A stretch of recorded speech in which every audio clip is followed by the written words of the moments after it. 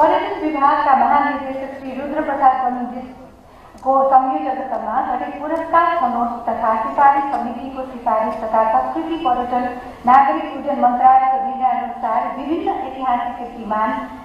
व्यक्ति तथा आरोही आरोहण दल र संस्थालाई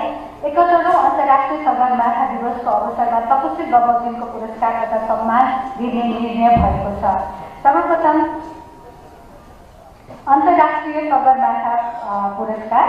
पर्वतीय पर्यटनमा नयाँ सोच अवधारणाको कार्यान्वयन पर्वतीय वातावरण संरक्षण तथा पर्वतीय पर्यटन क्षेत्रमा केन्द्रित रही गरेको शोध अनुसन्धान र यस क्षेत्रमा विशेष योगदान पुर्याएका स्वदेशी वा विदेशी व्यक्ति वा संस्थालाई प्रदान गरिने गरिएको छ This is an important award in the Nepalese mountaineering sector. This award is awarded to Everest Samiti who has been substantially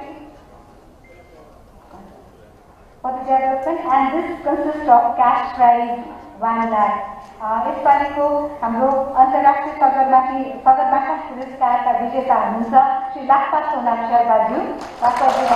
अगाडि आउन अनुरोध गर्दछु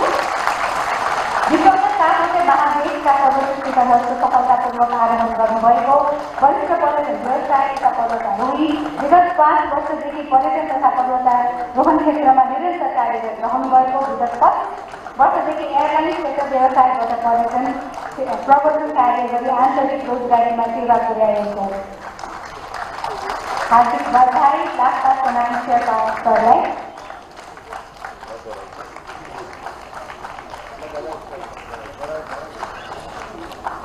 तर